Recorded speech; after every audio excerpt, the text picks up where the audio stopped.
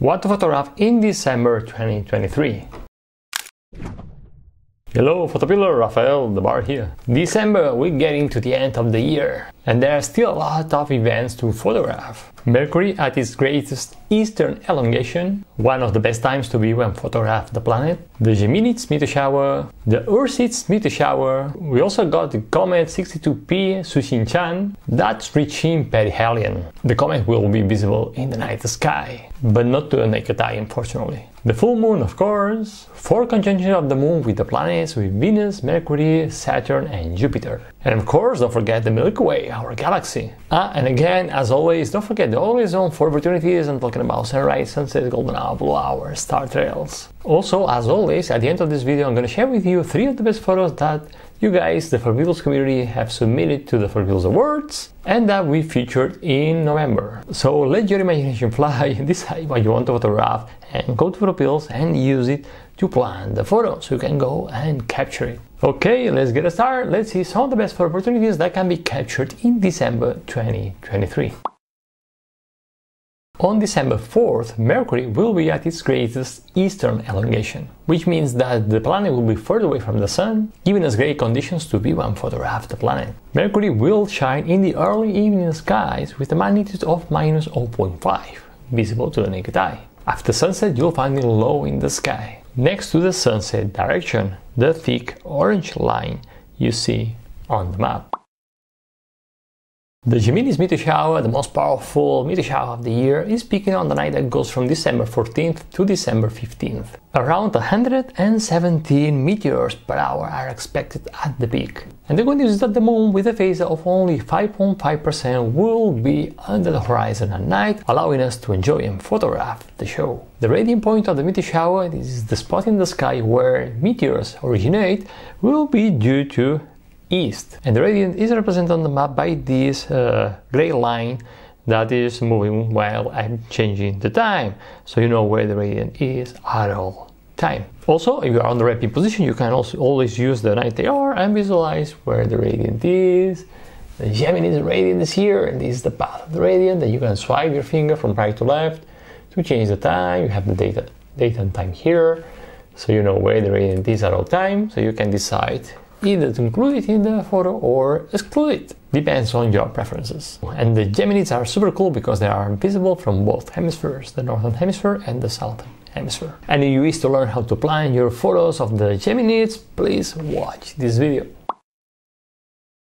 The Ursids meteor shower is peaking on the night that goes from December 22nd to December 23rd. Around 7 meteors per hour are expected at the peak. The bad news is that the Ursids are peaking around the big moon. The moon will have a phase of 85% at the peak, so you'll need to wait for the moon to set before you can start shooting. The Ursids radiant is due north and you see it's moving along the path of the radiant here on the map so you know where the radiant is at all time and uh, as always you can tap on the night AR and visualize, the Ursids. The radiant of the Ursids is a circumpolar constellation. So it's uh, uh, here we have it around the Polaris, and this makes the Ursids a meteor shower that's visible only from the northern hemisphere. On December 25th, the comet 62P Tsuchinshan will be at perihelion. This is when the comet is closest to the Sun, and is when it reaches its maximum level of brightness. Releasing large amounts of dust and gas, the comet is disintegrating. Unfortunately, the comet with an expected magnitude of 8.8 won't be visible to the naked eye, but it can be visible with binoculars or with a telescope, of course. The last full moon of the year is on December 27, giving us one more chance to photograph it aligning with the subject we like. So, based on the moonrise direction and the moonset directions, plan your shot. Like the one I planned here in Menorca, if uh, on December 27, 2023 at uh, 5.44 p.m. or less, I am at the red pin position, I'll be able to photograph a huge moon aligned with the Cavalleria Lighthouse. And if you want to see the size of the moon on the map, tap on the layers button, tap on the moon layer, switch on show moon size, go back to the map, and now you see how big the moon is gonna be. And actually, you have the size of the moon on the top panel in brackets 48.9 meters of size, pretty cool. And it was, gonna be aligned with the uh, lighthouse of Cavalleria in Menorca. Shooting distance about 5.5 kilometers, and that's an amazing shot. Also, if you go to panel number 3 and you check the elevation of the sun, in this case is minus 4.06 degrees, which means that this shot occurs at the beginning of the blue hour. Super nice, the moon is gonna take a very, very beautiful color. This is a very cool shot. Actually, Antoni Cladera, the photographer of the PhotoPills team, has taken similar shots uh, even from further away of Cavalleria Lighthouse and the moon, as you see in this photo.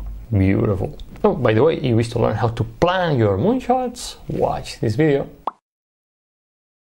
In December, there will be four cool moon planet conjunctions. On December 9th, the moon will be in conjunction with Venus, and the moon phase will be 12%. Pretty thin. On December 14th, Mercury will be pretty close to a pretty thin moon. The moon phase will be only 2%. On December 17th, the moon will be in conjunction with Saturn, and the moon phase will be 29%. And finally, on December 22nd, Jupiter will be in conjunction with the moon, and the moon phase will be 80%. On both hemispheres, you'll find the conjunctions of the moon and the planets where the moon is. So actually, if I change the time here, you'll see this thin blue line moving. That's the position of the moon. And there you'll see the moon and the planets. So you can miss them if you want to plan your moon planet conjunction shot aligned with an interesting subject, for example. The new moon is on December 12th, and in December we get to enjoy the theme part of the Milky Way. For example, in the northern hemisphere, as always, I have the pin in Menorca.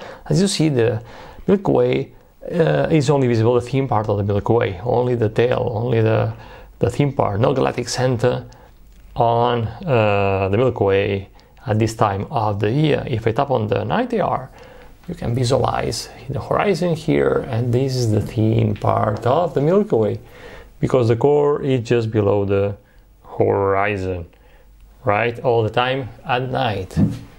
Very cool, the Polaris here. Now, if I go to the southern hemisphere, for example, let's go to Argentina. Here, you don't see the Milky Way. The you, you see the Milky Way, of course, at night, but you don't see the galactic center either in December in the southern hemisphere. Again, if I up on the night AR, you see that the core is not above the horizon, just under the horizon right there. That is the core, and the horizon is here. And this is the south celestial pole. And this is the thin part of the Milky Way above the horizon. But the winter Milky Way in the northern hemisphere and the summer Milky Way in the southern hemisphere is super cool to photograph too. So I invite you to give it a try. By the way, if you to learn how to plan your Milky Way photos with PhotoPills, which is super easy, watch this video.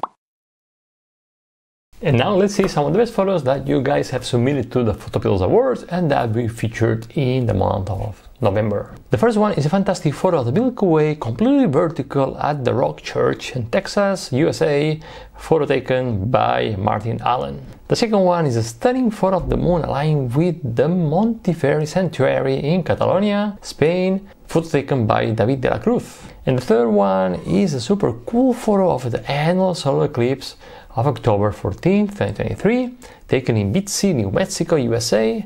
Photo by Peter V. Amazing photos. Thanks for sharing that. And now you used to learn how to plan and photograph each one of the events I've shared with you in this video. I invite you to download and study well our super detailed astronomical events photography guide. I'm gonna leave a link in the description of this video and in the first comment below. Download it. And as always, if you like this video, give me a like, subscribe, and I'll see you next Wednesday in another video. And remember, they had the power to imagine, plan, and shoot legendary photos. Bye!